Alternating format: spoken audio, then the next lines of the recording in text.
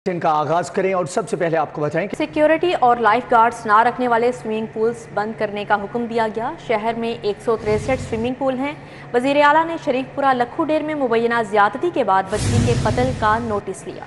आई जी को तीन रोज में तफ्तीश मुकम्मल करने का हुक्म दिया गया है। पुलिस ने मरकजी मुलजम समेत दो अफराद को गिरफ़्तार कर रखा है। वज़ीर अला पंजाब ने ज्यादती के बाद बच्ची मारिया के कत्ल के वाक़े पर पेशरफ का जायजा लेने के लिए वज़ीर अला ऑफ़िस में इंस्पेक्टर जनरल पुलिस और सी सी पी ओ लाहौर को तलब किया। चौधरी परवेज लाही ने एडवोकेट जनरल को हिदायत की कि तफ्तीश मुकम्मल होने के बाद केस का चलान जल्द अदालत में पेश किया जाए। वज़ीर अला पंजाब का कहना है, मुतासर खानदानों को इंसाफ की फराहमी के लिए आखिरी हद तक जाएँगे। दरिंदगी का मुजाहरा करने वाले मुलजिमान करार वाकई सजा ऐसी नहीं बच पाएँगे। मासूम बच्चे के लवाहकिन को इंसाफ की फराहमी को हर सूरत यकीनी बनाया जाएगा। वज़ीर अला ने बगैर सिक्योरिटी और बगैर लाइफ गार्ड्स के स्विमिंग पूल्स को बंद करने का हुक्म देते हुए कहा कि बगैर सिक्योरिटी और बगैर लाइफ गार्ड्स के स्विमिंग पूल्स के खिलाफ बिला इम्तियाज़ कानूनी कार्रवाई की जाए। जाइम की रोकथाम में नाकामी, दस एस एच ओ से जवाब तलबी एस एच ओ लियाकताबाद मुअत्तल, जबकि एस पी मॉडल टाउन को इंक्वायरी का हुक्म दे दिया गया। नाकिस कारकर्दगी पर S H O Ichhra Ghalib Market Faisal Town Gulberg और S H O defence A को शोकाज नोटिस जारी कर दिया गया। एस एच ओ लोहारी मस्ती गेट मुस्तफ़ाबाद और एस एच ओ बागबानपुरा से भी जवाब तलब कर लिया गया। D I G operation Afzal Ahmed की जेर सदारत इजलास हुआ। बिजली की कीमत के हवाले से विफाकी हुकूमत की जादूगरी ने आवाम को चकरा कर रख दिया।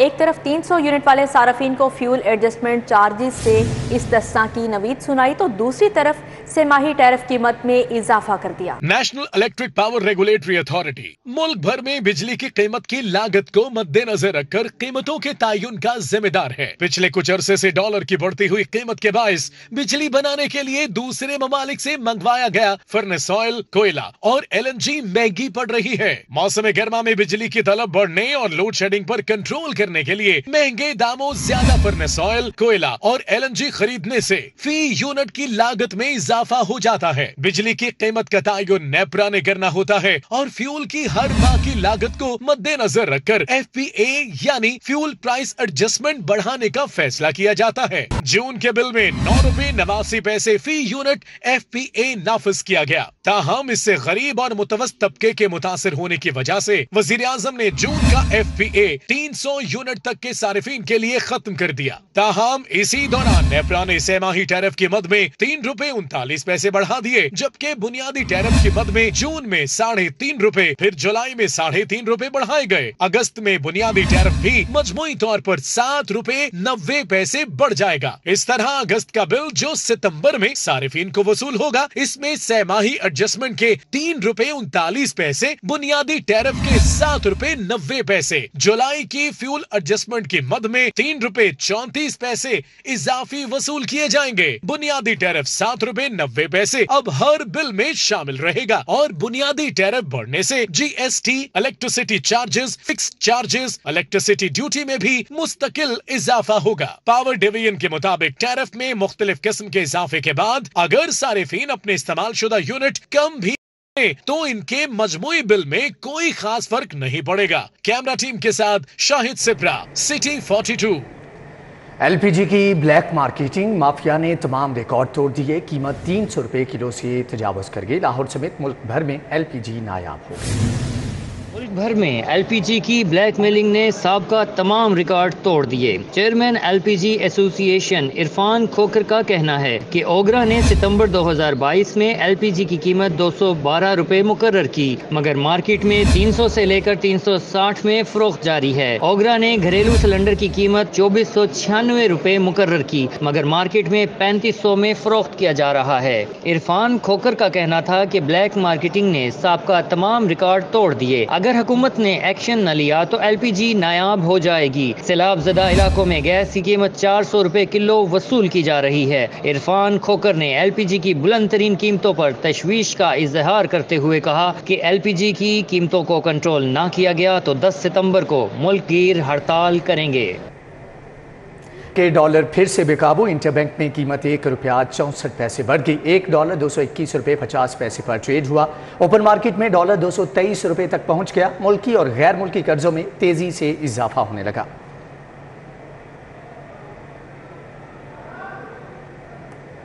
हज़रत दाता गंजबख्श अलैह के सालाना उर्स की तकरीबात महकमा औकाफ मजहबी अमूर ने एक करोड़ पच्चीस लाख रुपए की ग्रांट मंजूर कर ली। दाता दरबार इंतजामिया ने शोबा फाइनेंस को उर्स ग्रांट में 25 लाख रुपए का इजाफा करने की समरी इरसाल की थी, जिसके बाद सेक्रेटरी औकाफ ने मजीद रकम देने की मंजूरी दे दी है। मजमू तौर पर एक करोड़ पच्चीस लाख रुपए की ग्रांट से उर्स के इंतज़ाम किए जाएँगे। महकमा औकाफ ने चीनी, घी, चावल, सूजी, मसाला जात, मटन समेत दीगर अशिया की कीमतें बढ़ने आरोप इजाफी ग्रांट की दरख्वास्त की थी। और एक तरफा सड़क को कई घंटे बंद रखा। इसके बाद मुजाहरीन ने जियो आर गेट पर धावा बोल दिया है। मजीद तफसी जानते हैं समरा फातिमा से। जी समरा फातिमा, बताइएगा ताज़ा तरीन क्या सूरत हाल है? जी, मैं इस वक्त जहूरी लाही रोड पर मौजूद हूँ, जहाँ पंजाब के मुख्य सरकारी महकमों में काम करने वाले डेली वेजेस नाबीना अफराद इस वक्त यहाँ पर धरना दिए हुए हैं। कल से उन्होंने यहाँ पर धरना दिया हुआ और आज उनके धरने को दूसरा रोज हो गया लेकिन अब तक कोई भी हुकूमती नुमाइंदा उनसे मुजाकर के लिए नहीं पहुँचे और ना ही किसी ने उनको अप्रोच करने की कोशिश की है। यहाँ पर जो मुजाहरीन है, उनके जो मुतालबात हैं, वो यही हैं कि जो उनका कोटा है वो तीन से बढ़ाकर छः किया जाए। दो फ़ीसद जो है वो नाबीना अफराद के लिए, दो फ़ीसद जिसमानी मजदूर अफराद के लिए और दो फ़ीसद गुंगे बहरे अफराद के लिए, अफराद के लिए मुख्त किया जाए। इसी के साथ साथ उनका ये भी कहना है कि छः सौ चौंसठ अफराद जो बेरोजगार हैं, उनको मुलाजमतें दी जाए। साथ ही साथ उनका ये भी कहना है कि जो योम उजरत पर काम कर रहे हैं, उनको कॉन्ट्रैक्ट पर करने की कोशिश की जाए। यहाँ पर जो मुजाहरीन हैं, वो कल से धरना दिए बैठे हुए हैं और कोई भी इंतजामी या हुकूमती नुमाइंदा यहाँ नहीं पहुँचा है। गर्मी और हब्स के मौसम में ये लोग कल से यहाँ पर बैठे हुए हैं और उनकी जानब से ये भी कहा जा रहा है कि पुलिस ने उन पर तशद किया और उनके जो बहुत से जो साथी हैं वो अस्पताल में भी दाखिल हैं। मुजाहरीन का ये भी कहना है कि तहरीक इंसाफ ने तहरीरी माहा दो हज़ार उन्नीस में किया था लेकिन अब तक उस माहे पर कोई अमल दरामद नहीं हुआ है। हमारे वज़ीर अला पंजाब परवेज लाही से यही अपील है कि वो एक बार हमसे आकर मिले हमारे मुतालबात सुने। फातमा आपका बहुत शुक्रिया। National commission for human development and basic education community schools इस का पंजाब सिविल सेक्रेटरीट चौक में एहतजाजी धरना दूसरे रोज़ भी जारी रहा। इस कहते हैं कि चौदह माह की तनख्वाहों समेत दीगर मुतालबात की मंजूरी तक एहतजाज जारी रखेंगे इस का कहना है कि हमें चौदह माह से तनख्वाहों की अदायगी नहीं की गई जबकि तनख्वाह भी सिर्फ़ आठ हज़ार है जिसकी वजह से बुनियादी ज़रूरियात ज़िंदगी भी पूरी नहीं हो रही हमारे जायज़ मुतालबात पूरे किए जाएँ ताकि हम मामला को अच्छे तरीके से चला सकें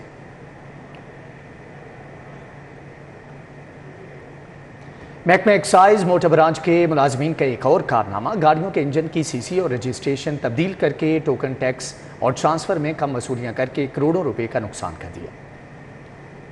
लाहौर समेत पंजाब भर में गाड़ियों के सिस्टम में इंजन की सीसी और रजिस्ट्रेशन डेट तब्दील करके गाड़ी मालिकान को फ़ायदा दिलवाकर अपनी जेबें गर्म की गई एक्साइज मुलाजमीन ने मिली भगत से सिस्टम में तब्दीलियाँ करके, टोकन टैक्स और गाड़ियों की ट्रांसफ़र करके फ़ीस कम वसूली करके खजानों को करोड़ों रूपए का नुकसान पहुँचाया। एक्साइज हुकाम के मुताबिक लाहौर में हज़ारों की तादाद में गाड़ियाँ सामने आने आरोप तमाम डेटा चेक करने का फैसला किया गया है। पंजाब भर में बड़ी गाड़ियों के टोकन टैक्स और ट्रांसफ़र का रिकॉर्ड चेक करके रिपोर्ट तैयार करने का हुक्म दे दिया गया। मुतल मुतलका ब्रांच को हुक्म दिया गया कि गुजशत माली साल में होने वाली ऐसी तमाम गाड़ियों का रिकॉर्ड चेक करके तफसीलात खसूसी टीम को देने का हुक्म दिया गया है। डी जी एक्साइज के हुक्म पर तीन रुकनी कमेटी तश्कील दे दी गई है।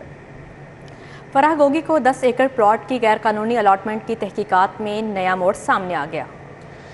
आपको बताएँ कि inquiry special economic zone authority को भिजवाने की सिफारिश कर दी गई है। जराये के मुताबिक फरागोगी ने सरकारी खजाने को नुकसान नहीं पहुँचाया। तहकीकती टीम की एराजी बेजाबती पर स्पेशल इकनॉमिक जोन अथॉरिटी को छानबीन की सिफारिश। तहकीकत में किसी सरकारी ऑफिसर की गफलत साबित नहीं हुई। एंटी करप्शन ने फरागोगी और उनकी वालिदा के खिलाफ मुकदमा दर्ज कर रखा है। मुलजमान पर दस एकड़ ज़मीन कोड़ियों के भाव अलाट करवाने का इल्ज़ाम आयद किया गया। हाईकोर्ट में हज़रत बीबी पाकदामन रहमत के मज़ार और कब्रस्तान की तजीन आरइश के मुतालिक मुतफरक दरख्वास्त पर समात हुई। अदालत ने बीबी पाकदामन के मज़ार और कब्रस्तान की तमीर को रोक दिया।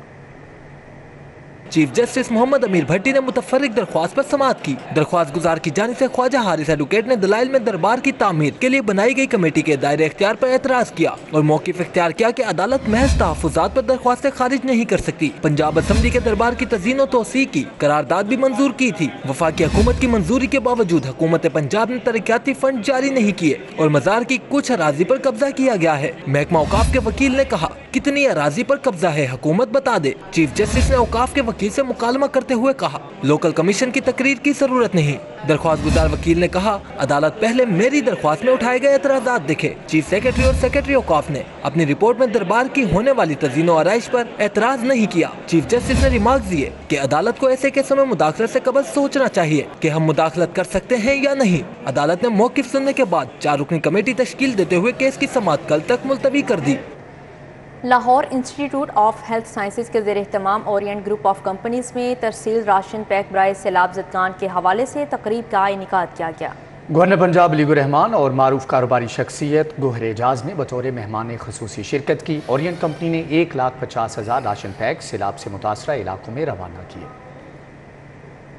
ओरियंट कंपनी ने एक लाख पचास हज़ार राशन पैक मुल्क भर के मुख्तलिफ़ सैलाब से मुतासर इलाकों में रवाना किए। इमदादी सामान मुख्तु कंपनीज़ के इश्तराक से इकट्ठा किया गया। तकरीब से खिताब करते हुए गवर्नर पंजाब लिखो रहमान का कहना था एल आई एच एस को लोग छह दरवेशों के नाम से जानते हैं। एल आई एच एस के इस इकदाम को खराज तहसीन पेश करता हूँ और मैं आज यहाँ इमदादी सामान देखने ही आया था, जो की बहुत लोगों की मदद और बहाली का ज़रिया बनेगा। आज यहाँ पे फैक्ट्री से मैं इसका मुशाह करने आया हूँ अप्रिशिएट करने आया हूँ। और इन ये सिलसिला जारी है और जारी रहेगा। तो इस मौके पे मैं तमाम कंट्रीब्यूटर्स को फिलंथ्रापिस्ट को, इस कार्य खैर में हिस्सा लेने वालों को शुक्रिया अदा करता हूँ। Group leader APTMA Gohar Ejaz का कहना था, हम कारोबारी शख्सियात मिलकर लोगों की खिदमत करने की कोशिश कर रहे हैं। उनका कहना था एल आई एच एस की जानब ऐसी एक अरब रुपए के फंड इकट्ठे किए गए हैं और एक लाख पचास हज़ार राशन बैग सलाह मुतासरीन को पहुँचाए जा रहे हैं। उन्होंने बताया की हम छह कारोबारी लोग मिलकर जज्बे के साथ काम कर रहे हैं, क्यूँकी पाकिस्तान हमारा मुल्क है। एल आई एच एस जो काम कर रहा है, उसके अलावा भी जो बाकी तंजीमें भी हैं, वो भी किस तरीके से ऑर्गेनाइज होकर चलती हैं? ये हमारा स्पिरिट है ये हमारा जज्बा है। और जज्बा ये है कि पाकिस्तान हमारा है।